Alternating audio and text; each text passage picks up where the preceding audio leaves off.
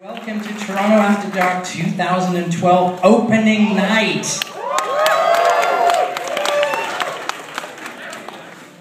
Um, now Magazine today described our festival as um, a feast of blood, beasts, and beer. I think I just love that. Come here, Timbo. Tonight's film is brought to you by a bunch of sexy babes. The Soska twins, the Twisted twins, the twinning, something.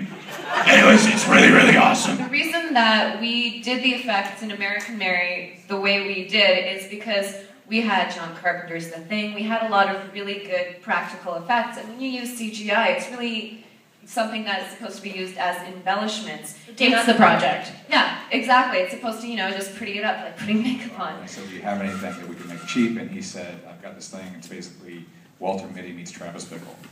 And that's kind of where this came from. So we sat and developed the script for several months, and then he wrote the first few drafts, I wrote the last few drafts, and that was the origin of Craig. basically. I want to start with an apology. Oh, God. Um, longest credits ever because we want to credit every single zombie in the film. So Oh, give it up for the ultimate zombie appreciation.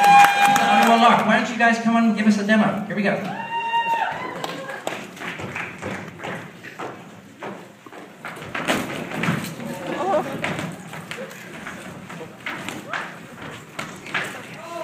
So lucky. I mean, thank God that the script had some humor already in it, so that when guys like Brian and Bubbles and Harlan read it, they were like, "Okay, yeah, you kids are trying. Why don't I come in and just help out a little bit?" And for me, you know, it's the biggest part I've ever gotten to play. I mean, if you know my uh, oeuvre, is that the right word?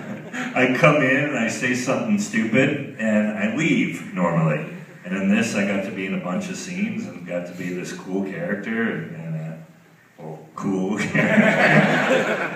it was a blast. I mean, I loved the script and then uh, I'm really proud of the way it came out. too. what kind of movie are we going to try and make here? First of all, what is the budget of the movie we have? I mean, that's always a consideration. What is the scale of the movie?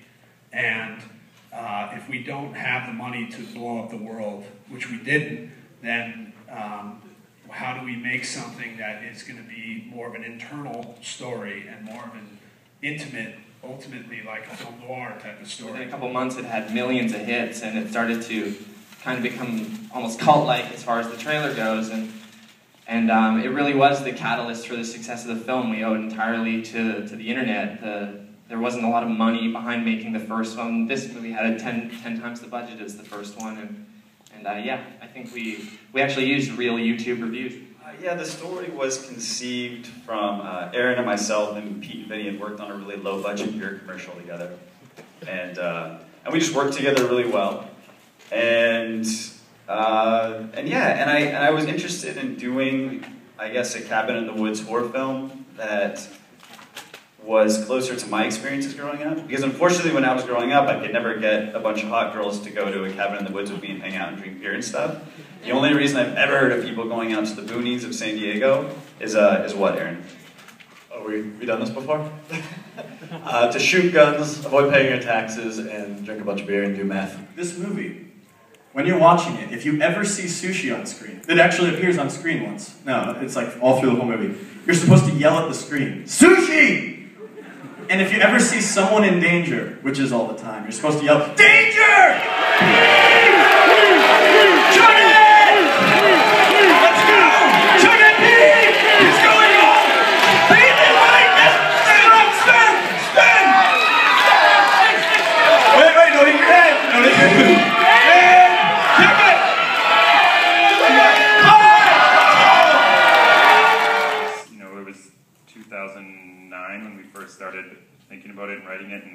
Was in a bad state. As it, you know, it's not way better now, but it was in an even worse state then, and that kind of inspired the whole.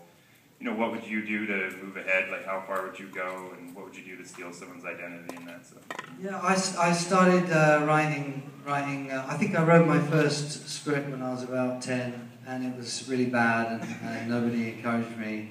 Uh, and, uh, and then I spent about, uh, about many years alone in my bedroom playing the guitar. And, uh, but actually, I think, um, you know, making films and uh, making records, it's a, there's a similar kind of process, and uh, um, actually, uh, I, I'd been writing scripts for about 10 years before I finally got this one made. Mostly because of the movies I watched, you know, when I was a kid, like the classics from Universal Studios, you know, from movies like The, the Bride of Frankenstein, Frankenstein, The Wolfman, movies from RKO Studios, you know, Cat People, Freaks, all these movies. You know, I used to love them, and I still do. But when I watched them as a kid, you know, I was really freaked out with them. I, I enjoyed very much. And also, also I grew up watching in the theaters, you know, American Werewolf in London, The Howling, Gremlins, all those movies, you know. So I think, you know, probably you can see clearly, you know, where the inspiration came from.